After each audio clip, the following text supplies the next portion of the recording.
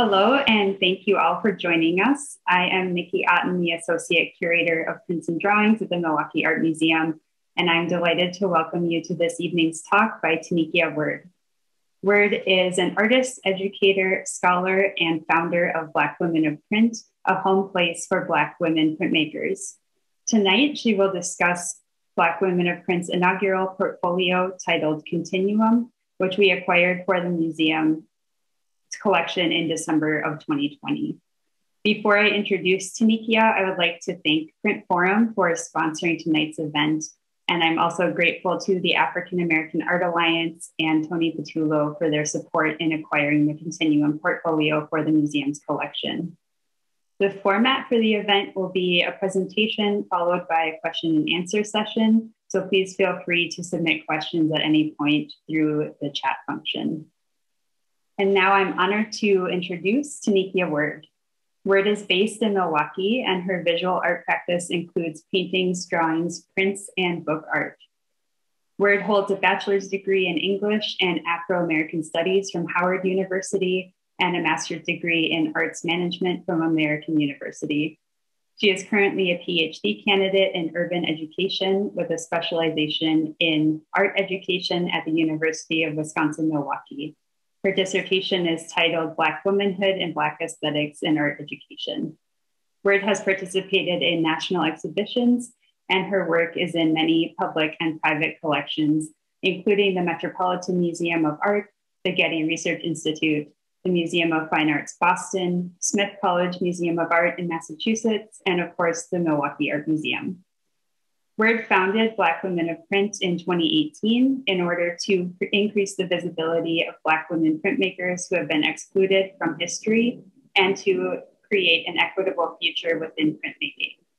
In 2020, Black Women of Print published a portfolio that included work by each of the Society's seven founding members Delita Martin, Jennifer Mack Watkins, Latoya Hobbs, Tanekeya Word, Stephanie Santana, Leslie Duguid, and Angela Pilgrim. For the inaugural portfolio, each founding member selected a Black woman artist who influenced her current practice and created a submission that expanded upon a signature element of that artist's work. As Word has described it, this portfolio is a continuum of Black women's thoughts and how, as Black women, we use visual language through the medium of printmaking to pay homage and reimagine. She will tell us much more herself. So, with that, I will start sharing my screen and hand it over to Tanekeya. And Tanekeya, you can go ahead whenever you're ready. Hello, everyone. I just want to thank you for being here with us. And I'd like to talk about the inaugural portfolio for Black Women of Print entitled Continuum. The first person um, in the portfolio is Delita Martin. And what we do at Black Women of Print, we have uh, we center the African diaspora within our aesthetics as well as within our practice. So I will be speaking about every person in order of which they were born, giving respect to um, those who are not really elders right now, but who came before each other. And I wanted to specifically talk about continuum. What we did, we looked at the West African Sankofa principle, which is um, it sort of translates to it is not taboo to go back and fetch what you forgot. So the symbolism for that is a mystical bird and the bird's head is backwards as it moves forward and has an egg in its mouth. So, what we wanted to do was talk about the migration of going forth um, looking for the past for wisdom while simultaneously holding and protecting the future um, as we journey together um, within the foundation of Black women printmakers. So Delita Martin looked at the wonderful Elizabeth Catlett's work, and she decided to look at the visual language that Elizabeth Catlett has used within her sculpture as, as well as her print looking at the everyday person, particularly minoritized people. She was very enthralled with Sharecropper by Elizabeth Catlett. So she decided to use those choppy, bold lines and contours within the work to also have that silent gaze looking at the strength of the Black woman. And then she decided to add in collage element, which you will see um, a reoccurring theme within Delita's work is the circle. And she looks at that as the moon and looks also about how um, the life cycle works within the woman as well. Then you will see that there are moons within um, the upper part of the chest for the Black woman. Again, she also used the iconic black ink on white paper within printmaking.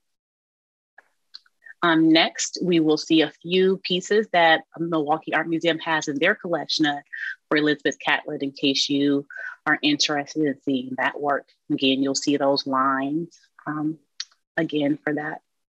Now we are going to move into Jennifer Mack Watkins' work. she was very intrigued by Betye Saar.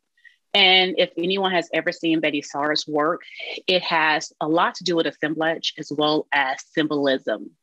You will see that there is a target um, symbol on Jennifer Mack Watkins' work. This is mokuhanga, uh, which is a Japanese woodcut um, technique for, and she also has screen printing. The target is there to symbolize how the Black body is marked um, before birth, um, during birth, and after. She specifically created this print when she was, I think, around seven months pregnant with her son. And she began to think about the Black Lives Matter movement, civil rights movement, all the different things that um, Black people have faced, specifically African Americans um, within systemic oppression since antebellum um, chattel slavery. And so that target is there, and she wants to think about future undetermined when it's looked at through the lens of systemic oppression, but also um, how is the Black body marked um, from societal standards, and how do we, as Black women who um, carry these um, children and nurture them, how we can protect them. Um, here is a slide of um, Betye Saar's work, Return to Dreamtime. And this is the work that she specifically looked at um, and which stood out to her when she was creating Future Undetermined. Okay, in the next slide,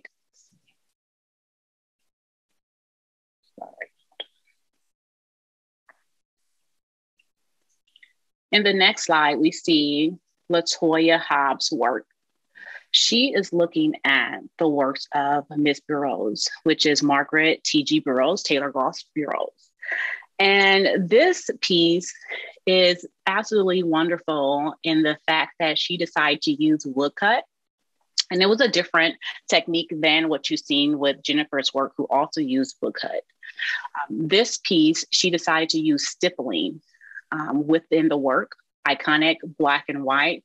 And then she chose to use complementary colors with the um, purple and also the yellow. And then she decided to use some sort of pattern within the background that carried into the foreground of the hat and also within the foreground for the jacket. And uh, this is one person who she definitely aligns herself with because she loved the strength of Margaret because she was also a cultural organizer as well. And particularly within the next slide, you'll see the work that intrigued her to do this, which is um, Face of Africa. And then you can see the stippling within the body. It's more of um, the tone is different within um, Latoya's work um, versus Margaret, where you'll see that it's more of a darker tone with that. And then she allowed the highlights to be brought out within her work, which was more of a contemporary decision to do such. And then we'll go into the next slides, which you'll see these works are in the museum's collection, the Milwaukee Art Museum collection. Um, so you'll see um, both figures again, you'll see stippling techniques used, understanding of the lines and contours um, as well. And then next up is my work. This piece is called Starshine and Clay. And it is talking about the liminal space that Lucille Clifton wrote in, I believe, her 1993 poem, I Want You Celebrate Me. And she spoke about um, Black womanhood and how we are particularly in a liminal space as minoritized people and how we have built ourselves up in a place that does not see us um, beautiful or who does who doesn't recognize that although we don't want to be resilient all the time, we have become the face of resilience and building, whether we're giving our children to society to help bring it forth, to build the White House and other things.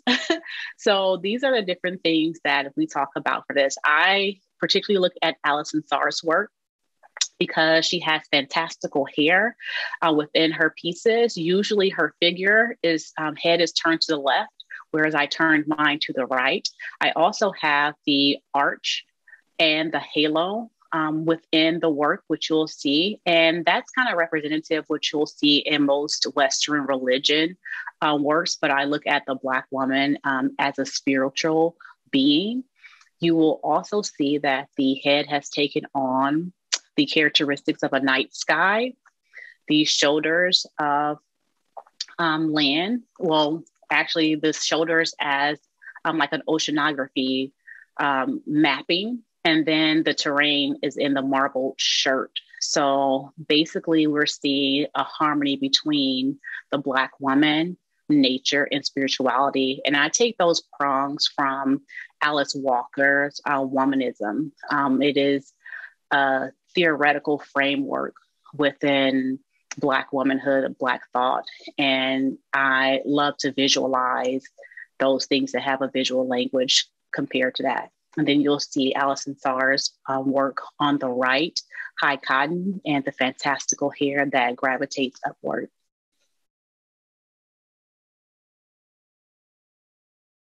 These are a few pieces that you'll see from Alison Saar's um, work that is in the collection from Milwaukee Art Museum.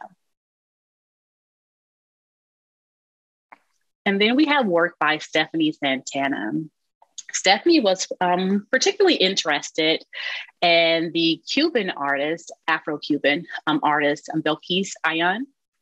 And she looked at uh, the collagraph technique, which you use some found medium or board or masonite, and you can attach anything to it from the has texture glue, and it creates a specific pattern when you, or in texture, when you roll it through the etching press.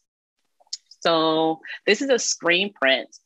And what Stephanie decided to do was to hand draw this uh, effects of texture that she would see um, within a collagraph. So she translated that technique into screen printing by hand. And her work particularly looks at Black interiority. And what is unique about the Black interiority for Stephanie, she gets the images from her family archives. And she looks at these works that are typically during the Jim era, of Jim Crow era. And when she looks at those work, she kinds of bring the stories forth through rememory, memory, and some collective memory involved as well. And what Stephanie wants to do is look at cultural preservation from an image perspective um, and bring those stories to light in the wake of most of her family's existence. So, in the next slide, you will see work by Belkis Ayón.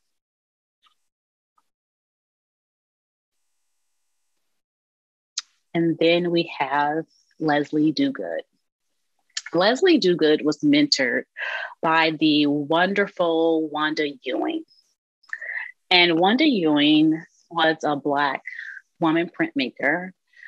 And the great thing is that Leslie found within her stash of um, ephemera a piece of wallpaper that she had purchased um, while being mentored by Wanda.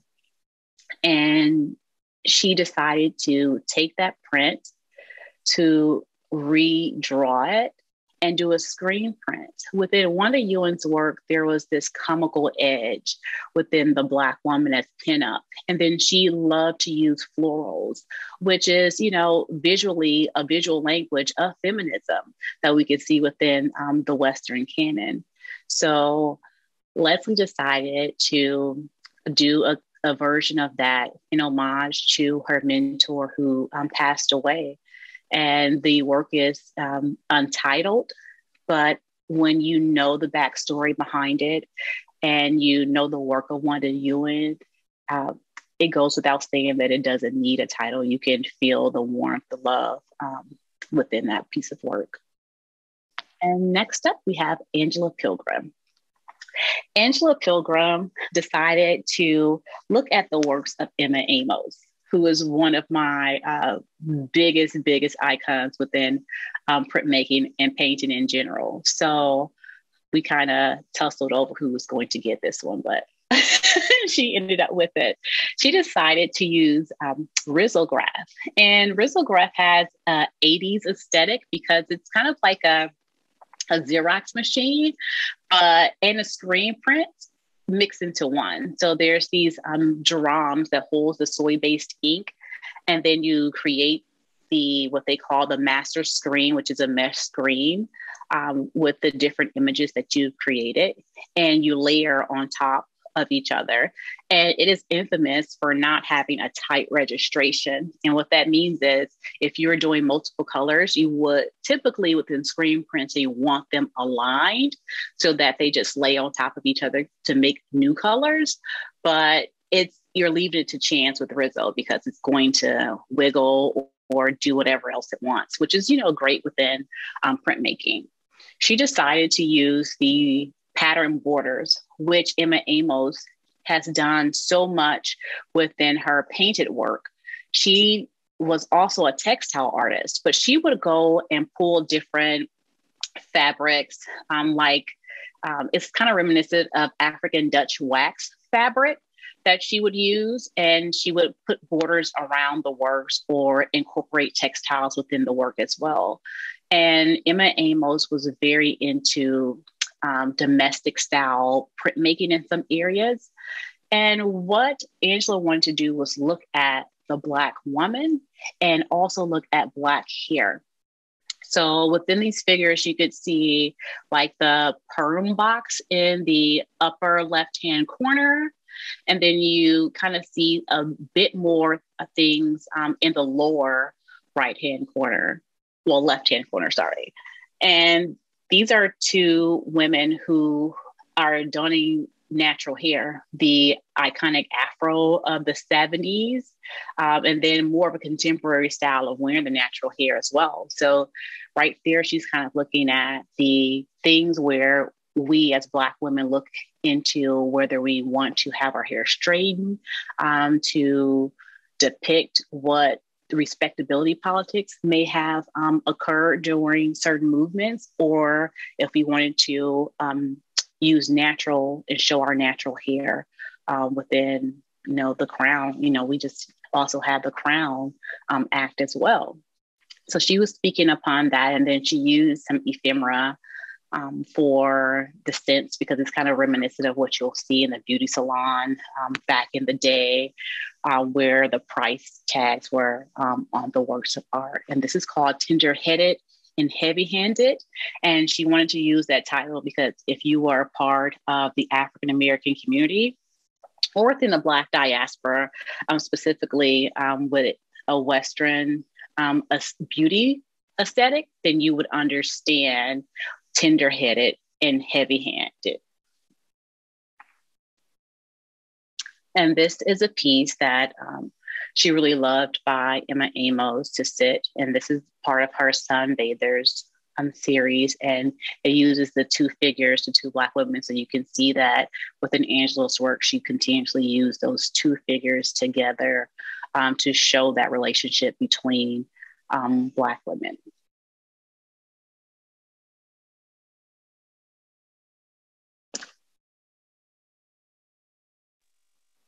All right, great. Thank you so much. Um, it's wonderful to hear more about the portfolio because I know I personally was really excited to bring it into the Milwaukee Art Museum's collection it has some connections with works that are already part of the collection. And it's great to hear you expand upon what those connections are a little bit more. But we have plenty of time for questions. So if anybody would like to ask a question, please feel free to do so can use the chat function.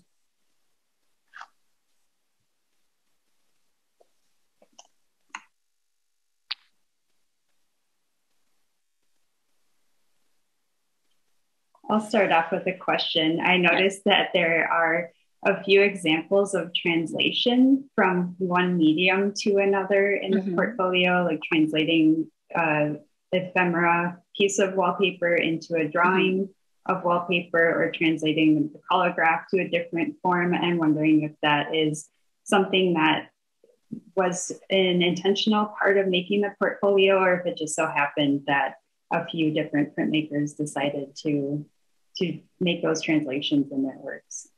Yeah so the cool thing about the portfolio is um, when i curated and creative directed the portfolio is that all i gave as far as restrictions was, you know, you it has to be 11 by 15. Um, it has to be on paper, and we specifically use all sorts of Mohawk paper, like different kinds. So no one knew what the next person chose. Um, as far as the paper, um, the they only knew which printmaker they chose. So it was more so a surprise for what happened organically for everyone when they actually received their portfolio. Because I didn't show the portfolio to anyone. I had I was the only person um, to see it because I had to collate it and everything else.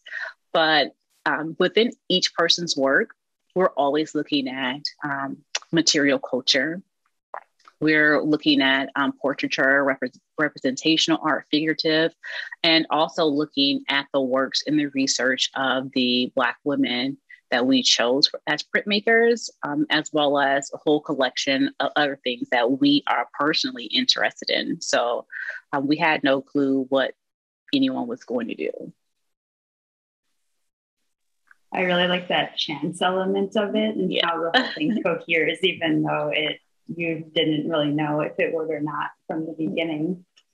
But we have a question in the chat. Um, Erin says, very excited to have this work in the collection. How did you set about finding artists to bring together for the portfolio? So when I started in 2017, I um, talked to Delita Martin and I in, ended up interviewing her for Pressing Matters magazine. And then I wanted to talk to her more about pre dissertation work that I was working on.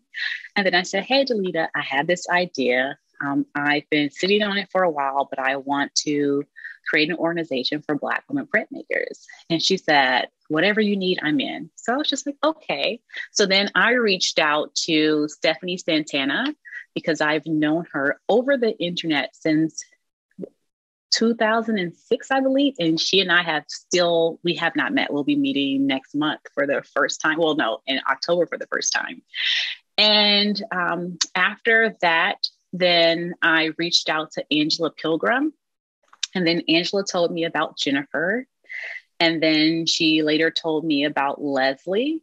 And then Delita and I both knew Latoya, but I reached out to Latoya. And from there, I sent out, and then we, Jen Hewitt was also um, a part of this at first. And then I sent all of that information that I had written down about the organization, the structure of it, the ideas that I was having, how I wanted to also create a portfolio, sent that, sent that out to them. And they said that they wanted to be a part of it. So it organically happened in that way. And then it was mandatory for the first portfolio that everyone who was in the organization would participate. So they had already known that they would be signing up for that. And um, this year we're working on a different portfolio, but it's not going to be everyone. It's not mandatory.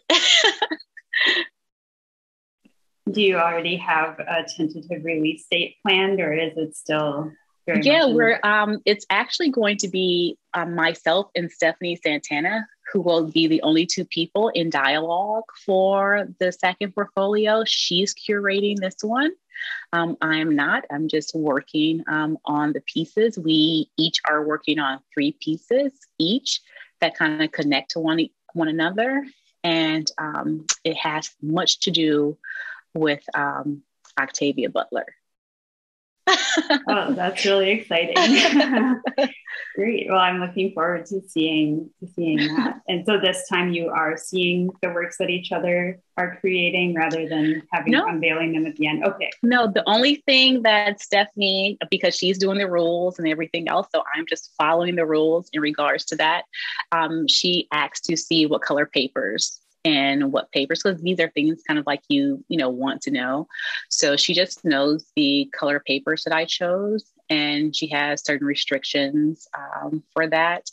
And it's going to be released in late autumn or early winter of this year so yeah, so we've been uh, working on those, and I'm pretty excited about it to see how it's going to happen because I have nothing to do with it this time other than creating the work, which is pretty fun. That's great.